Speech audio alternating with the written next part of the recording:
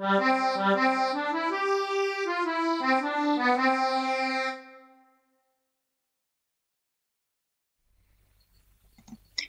so hi everyone, I'm Feria and I'm one of the members of the Purple team. In this presentation, we're going to talk about Type R Gym. We've decided to choose a gym after trying out the sports related equipment such as treadmills, yoga mats, and bikes during some of our metaverse sessions. On the other hand, the three of us are active people who like to go to the gym on a regular basis. So we thought this could be a nice idea. Now, Alvaro, who is the, who is the team's leader, will briefly explain the company and its services. Hey, what's up? Equilatero Type R Gym is located in Santiago de Compostela, the capital of Galicia. This gym stands out for its boxing and cross-training classes, but also offers activities such as junior boxing and preparatory training to enter the Spanish State Corps.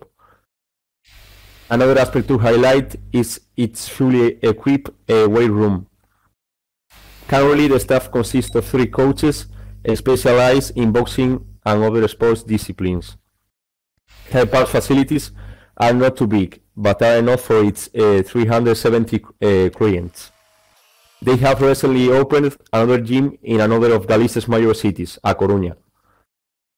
Customers are very happy with, it, with this gym for its friendly and approachable staff. In addition, the schedules are very flexible with 10 boxing and cross-training classes per day. The rates might seem a bit expensive, but you have to keep in mind that the gym is in the city center and that and that all sessions are led, by a qualified instructor. Loyola is now gonna talk about some of our ideas for introducing Type R in Second Life.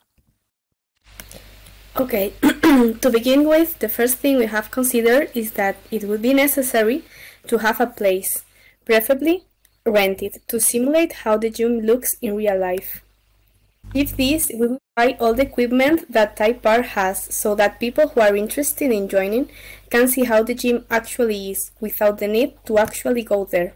Type R will also provide services for those who want to work out in Second Life only and not in real life, and the rates could be slightly lower than if you go to the actual gym.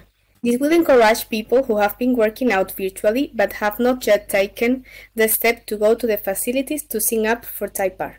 That's all. We hope you all enjoyed our presentation and thank you very much for watching.